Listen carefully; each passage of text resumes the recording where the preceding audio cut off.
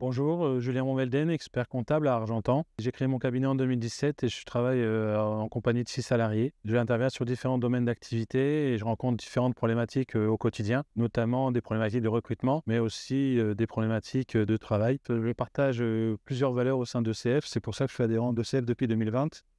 Et ça me permet, notamment via le CMA RH, de répondre à ma problématique de recrutement et aujourd'hui, je, suis aussi en faveur d'un CNO plus important, plus fort, notamment au niveau de Bercy, qui est notre instance, notre ministre de tutelle, et que l'on ait une force, soit force de proposition et qu'on puisse défendre davantage l'exercice libéral. Je pense que expert comptable, exercice libéral, c'est très important.